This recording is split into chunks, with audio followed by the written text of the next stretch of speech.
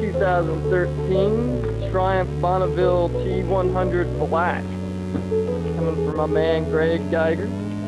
Professional Triumph builder Brandon Bain building a Triumph 2013. First one in the Bonneville line for Frontline Eurosports.